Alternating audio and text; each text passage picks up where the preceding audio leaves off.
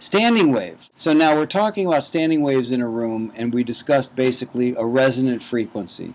That a frequency can fit inside this room specifically because of the dimensions of the room, and some frequencies get amplified and some get diminished. Where there's constructive interference, where the reflection constructively adds to the wave that's already there, it's called a node.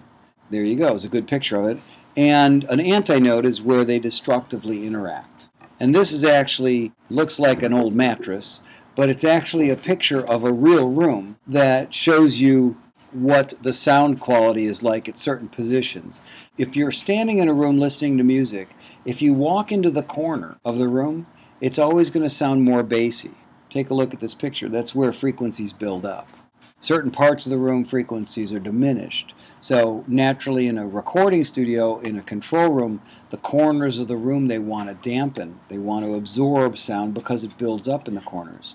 Sometimes they use trapping, tube traps, stuff like that to sort of try to take away some of that excess buildup of frequencies. So the acoustic treatment of a room, of an auditorium, a movie theater, a stadium, any of these places that have good acoustics, it's because the nodes and antinodes aren't so exaggerated because of the size and shape and space that you're listening in. Circles and, and spheres and those kinds of shapes all have specific kinds of reflective patterns of sound, and so regular shapes, squares, rectangles, um, those things are difficult because they have a specific predictable pattern as to how they work. Whereas in a control room where you don't want this kind of buildup, you want odd angles, you want walls that are leaning a little here and a little odd shape so corners aren't exactly square, and the, the ceilings always go a little like this and like that, and they so it's not really reflecting parallel walls. You want no parallel walls because then the reflections don't tend to build up, they tend to bounce around but never really reinforce each other. And as we talked before about diffusion, they use diffusers in the back of control rooms quite often, which are multi-leveled kind of fixtures that are placed on the wall. When sound hits it, some sound reflects from here, some sound reflects from there. There's angles, some goes this way, some goes that way, and it just sort of confuses the sonic quality of the sound so that when it does reflect back, it doesn't interfere or reflect back or cause any sort of resonant frequencies.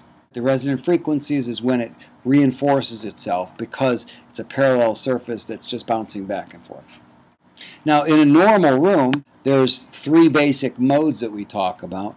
One is called the axial mode, which is the reflection from wall to wall, floor to ceiling, those parallel walls. Tangential involves two dimensions. Tangential would be a reflection off that wall, reflecting into that wall, reflecting into that wall, and around the room like that. So there's a potential resonant frequency that's around the walls, or floor to ceiling, back and forth because you hit a 45 degree angle to the floor it's going to reflect on that wall 45 45 40, and, and around so you get these kind of tangential modes. And then you have an oblique mode, which is even more complex, where it goes from floor to wall to ceiling and sort of on this angle in this rectangular space. This is an example of axial modes and how sound can build up. And there's actually uh, a formula for room modes. You put in the dimensions of the room and it spits out what frequencies are more likely to be reinforced in that room. So you'll find that a couple examples here that in cubical rooms it's the absolute worst. And small rooms is really, really bad. Rectangular rooms, really, really bad. Now, the worst of all worlds, which I didn't include here on a card, is listening on headphones. Everyone loves to listen on headphones, but they love to listen on headphones because it sounds so good. Because the room doesn't interact with you at all. It's just from the speaker to your ear, and it's perfectly isolated. One ear, the left ear, and the right ear are perfectly separated. So this is perfect isolation, so everything sounds so much better than the way it would normally on a set of speakers. So it's extremely hard to mix on headphones. Let's say you've got your home studio and you're trying to just spruce it up a little so it sounds a little better, right? Here's a couple tips that I can give you. Sound isolation is one of the most difficult things to do because sound has energy and that energy is very powerful. It can get through walls real easily. Anytime that air can travel, sound can travel. So through the air ducts, under the doors, around the windows, sound escapes and comes in both directions. So any time that air can come and go, sound can travel in and out. Problem is, you need fresh air to breathe if you're going to be in that room. So however you get it in there, sound can also escape out that direction. So it's very difficult to really, really isolate. But one of the core principles is that mass can stop the energy from leaving. If it's a massive wall of concrete, it's going to stop sound a whole lot better than if it's, you know, drywall or a curtain. Makes sense. So the sound is energy hitting this object, and obviously, if it's a massive object, it's going to stop the energy flow. Replacing your doors, the hollow core doors in, in most apartments, these thin light doors that just act for privacy, they don't act for sound isolation at all. You could replace those and put in heavier doors, and it really makes a big difference.